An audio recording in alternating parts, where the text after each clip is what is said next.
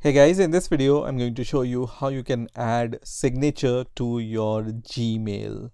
So let's say you want to just add a signature in each and every email which you write at the bottom of your email. Let's see how we can add that signature.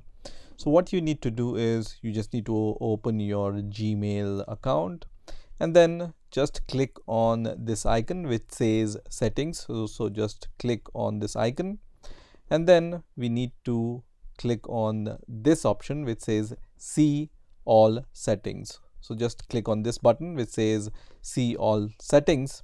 And here you will be able to see so many settings. But what we need to click here is this tab which says general. So just click on general tab and then scroll down.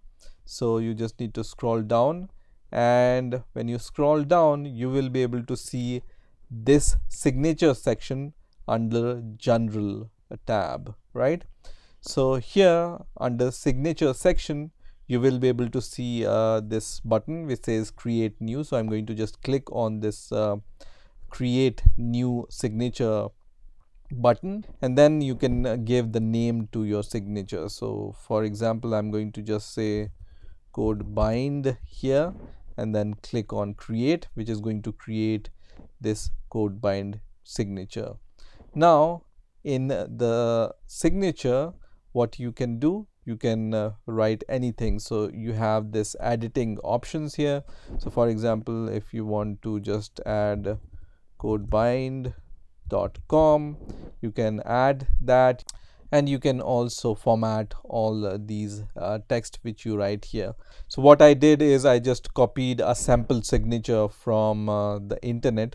So i'm going to just uh, paste that uh, signature from the internet. You can see it's going to look like this right?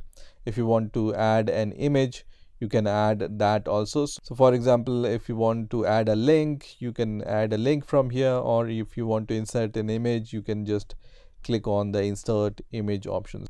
So i'm going to choose that image and once this image is uploaded i can uh, just uh, resize this image also. So i can just uh, click on this image and i will just click on small which is going to just show me uh, the small uh, version of uh, this image right?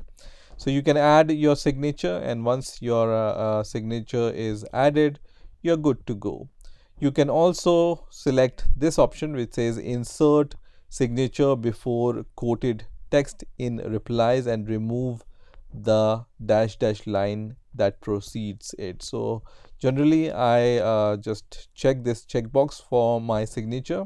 Also under signature defaults what you can do is you can select these options. So first option is for new emails use we are going to use this signature which we have created. So you will be able to see a list of signatures which you have created and you can choose uh, the signature which you have created from here.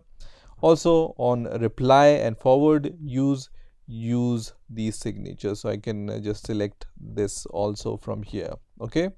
So i'm going to uh, add the signature to the new email and i'm going to add the signature when i'm uh, forwarding a email or replying to somebody okay?